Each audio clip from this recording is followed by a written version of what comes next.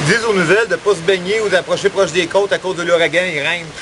Si tu penses que c'est ça qui va m'arrêter, je vais bien pareil.